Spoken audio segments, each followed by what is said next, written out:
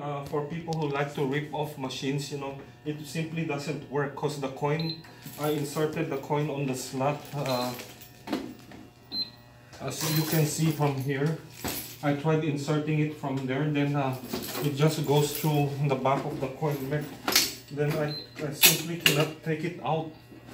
Uh, so this, uh, this kind of contraction does not work. Thank you all for watching.